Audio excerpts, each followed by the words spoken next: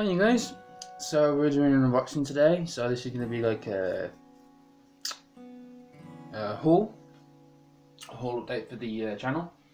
So um, I mentioned in a previous video that I made an uh, import order.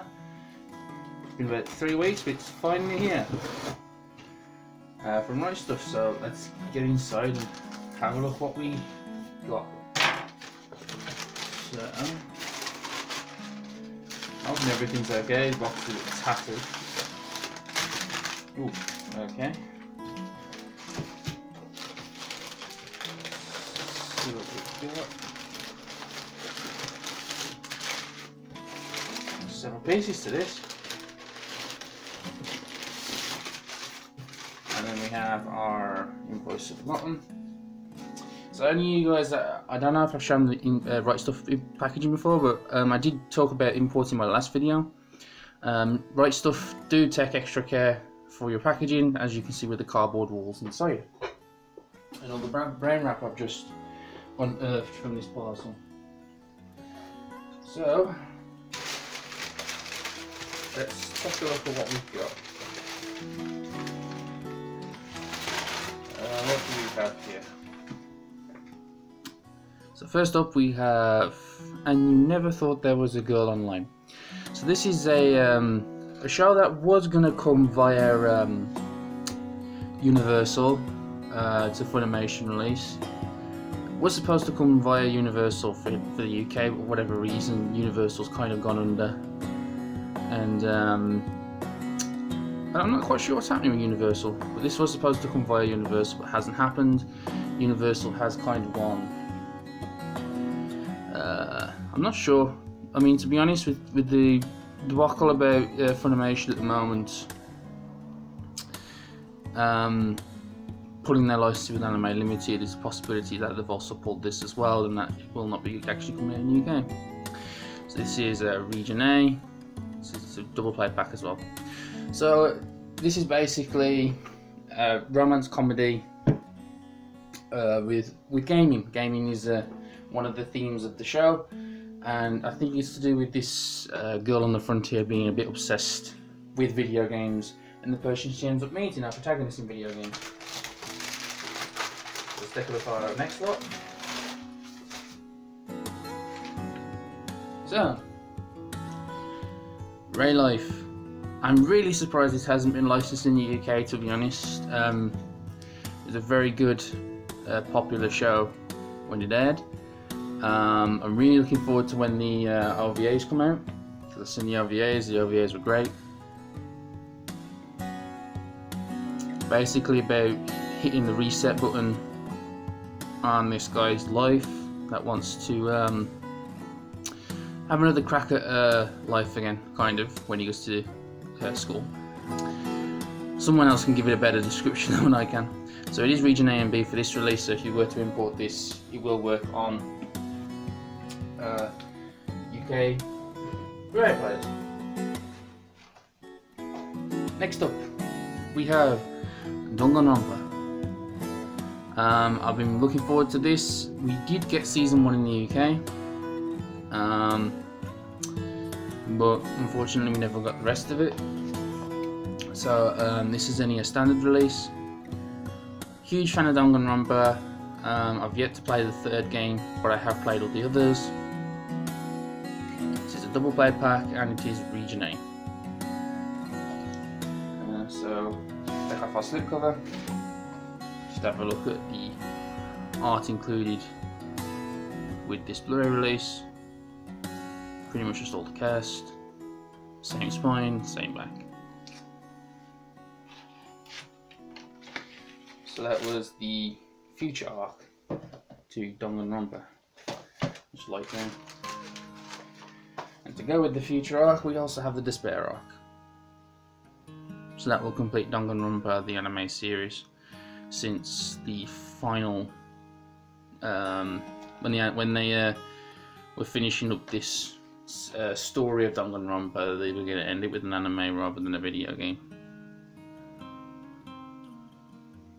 Although I do believe one of these cover the second game, also Region A, and it's a DVD double. I think it's uh, despair arc that covers the uh, second game. Because uh, as we can see on the front cover here, it's all the cast from the second game. I'm pretty sure it covers the second game. It's been a while since I've seen it, but I do like my Danganronpa, so. There we have it. Danganronpa. And our final sets. First up, we have Orange. Now, I was a bit torn about this set because when I did see it while it was airing, I wasn't blown away. I mean, I thought it was an okay show, but you know, I wasn't hugely too fussed about it. But considering the sale, I decided, you know what, why not? There were plenty of other sets I were going to pick up, but uh, I didn't end up doing so. But um, it was cheap enough and decided, to screw it, why not? And this is another A and B set.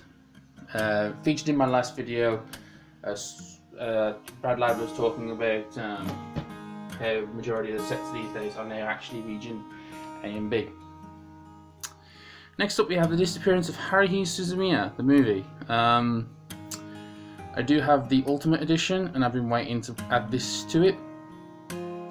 Thanks to the sale, I'm finally capable of doing that. Great movie, enjoyed it. Uh, region A.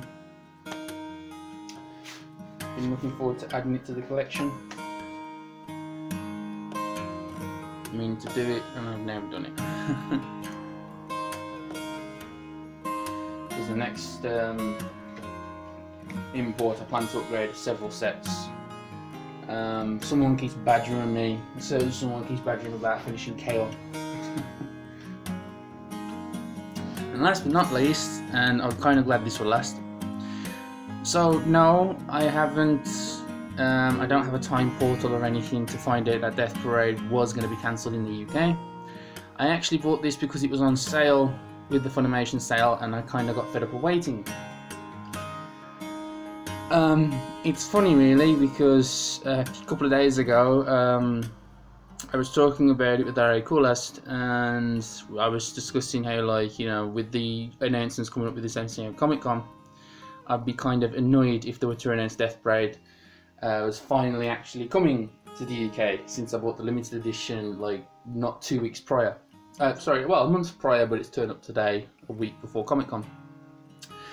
And I actually have Death Parade. So um, I got fed up of waiting, and it seems that my fed up of being wait waiting rewarded me. The only thing that's going to kick my behind is if, uh, if Funimation come out and say, right, we're going to release it for the UK, and then I've spent money, uh, more money than what I probably should have done on that set. Although to be honest, it probably would come out to the same price anyway, because they probably release it in the UK for about 40 to 50 quid. So it come out to about roughly the same almost. Yes,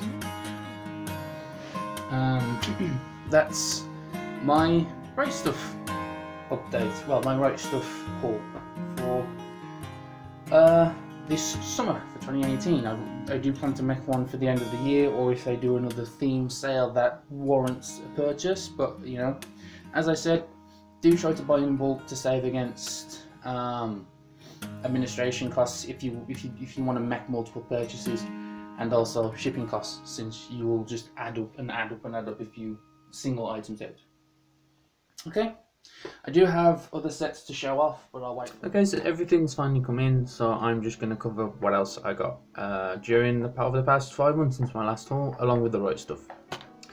So first up we have uh, Boy and the Beast. I've been meaning to pick this up for a while. It's the only memory Mamoru Hosoda film I don't have. Um, until Mirai comes out, which recently just had its world premiere in Paris. So hopefully we don't have to wait too long for Mirai, but we'll see. I think Anime Limited is either going to license it or very keen to license it. They actually went, uh, and Andrew did go to the premiere, so hopefully we get to hear more about it.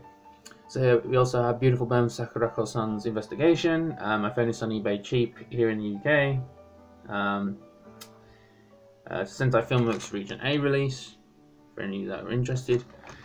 Um, yeah, me, I've, you know, I've, I've seen this. I can't remember what happens in it. It's been ages since I've seen it, but I've seen it dirt cheap. I wanted to pick it up. Uh, next we have a show I'm actually going to revisit very, very shortly. Actually, I've just seen the first five episodes recently of season one, since I haven't seen it in a while. And that's Blue. Um, I, I haven't seen season two. I was waiting for it to release, and then I was going to rewatch it all. So this is part one. Part I have pre-ordered part two, so I shall get part two. I think next week, depending. Next we have Future Diary. I've been meaning to pick this up for ages. Um, this is the old Funimation release because I really I, I didn't want to pick up the Kaze release because I think the Kaze release was like two discs. I think it was. Might be wrong on that. But um, I found the old Funimation release cheaper than the Kaze release, so I figured you know I'm gonna pick up the Funimation release. They have re-released this though, along with the OVAs to go with it. So it's completely up to you whether or not you want to uh, go pick up that release instead. But this release is also A. Next we have Madoka Magica, um, movie 3. Um, Alright, Corliss, I was talking to at the time, was going nuts over um, Madoka Magica, and I decided to rewatch it. This is flimsy though. And um, I decided to rewatch Madoka Magica, uh, movies 1 and 2, because they're supposed to be better animated and whatnot. And he told me to go watch uh, movie 3 as well, and I've seen the first two movies, and I kind of neglected to watch this because at the time, uni and not in the right mood, so to say, unfortunately. So I will get around to watching it at some point, but and watching it. Here we have um, My Hero Academia. My Hero Academia, um, I tried watching it a very long time ago, and I only watched the first episode, and I don't know what was wrong with me back then. Like I was really moody. I, I watched the first episode, didn't like it, and turned it off, and didn't go back to it. And I, I kind of condemned My Hero Academia as, nah, I don't like it. And then, um, you know, a lot of people start, you know, year had come, a year had gone by, and people started, you know, getting really excited for season two. And um, I finally found I found season one cheap on uh, Amazon, and I decided, you know what, I want to give it another go because everyone's badgering on about it. And I ended up watching season one. I watched like the first four episodes, and I was like, I don't know why I didn't enjoy this. Ended up buying season one because it was cheap on Amazon. Uh, the Blu-rays on the shelf, and yeah, I, I ended up really, really enjoying it. So I ended up buying it, watching it, and enjoying it, which also led me to my final edition here, My Hero Academia, uh, season two, part one, with part two pre-order. Um, so yeah, I'm kind of it's kind of a shame that I uh, you know slandered uh, My Hero Academia as meh because I didn't enjoy the first episode and I was moody, not in the proper mood to watch anything. So, but I have reconciled that uh, that opinion of mine and now watching My Hero Academia and rather enjoying it. So, usually superheroes aren't my thing, but My Hero Academia seems to be somewhat of an exception. So that's the haul for summer 2018. So that was what I pretty much bought on the side alongside um, what what I've what I've been unboxing and what I bought with Right Stuf recently. So that's pretty much I think the collection up to date really. Um, I will be doing a collection video at some point. Um, just again need the right time. But uh, for now, that's that's a haul update as to what I've been buying in my spare time. So I hope you enjoyed that guys, just to get an insight as to what I bought during the periods in between what else I'm unboxing. Okay, thanks for checking out my video guys, and as always, take care, have fun.